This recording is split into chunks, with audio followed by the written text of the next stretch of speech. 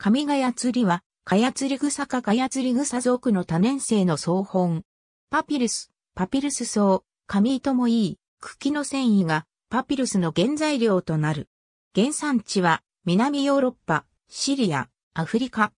現在でも、コンゴ、ウガンダ、スーダン、エチオピア、シチリア島、シリア地方のそれぞれ一部地域にて、パピルスの自生が確認されている。水草で高さは2メートルほどになる。アフリカ奥地の湖や、下半の浅い、緩やかな流れの中に繁茂する。茎の断面は三角形で、最大6センチメートルほどの太さになる。通常、海形によって増殖する。夏季は4月。緑がかった茶色の花房をつけ、ナッツのような形をした茶色い果実も形成する。熱帯や亜熱帯の地域に生育しており、乾燥した砂漠から湿度の高い熱帯雨林にまで広く適用することができる。通常、一年中気温が20から30度で、pH が6.0から8.5程度の環境に生育している。エジプトには洪水の際に上流からナイル川デルタ地帯に流れてきた株が自生していた。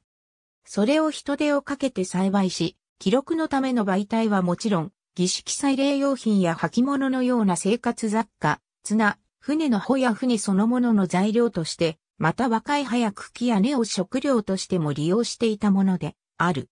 そのためエジプトのキリスト教家や中国からの聖子法の渡来により、需要が少なくなるとともに、自然にナイル下流部からは消滅した。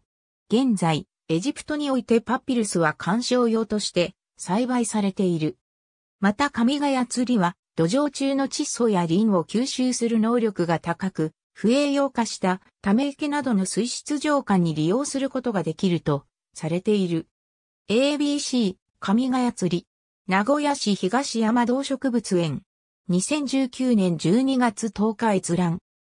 水田和恵、安倍薫、尾崎康夫、有用植物による汚水中の窒素、リンの浄化機能及びその遮光による影響日本作物学会記事67、568から572、ネイド1100億172万6550、ウィキメディアコモンズには、神ヶ谷釣りに関するメディアがあります。ウィキスピーシーズには、神ヶ谷釣りに関する情報があります。ありがとうございます。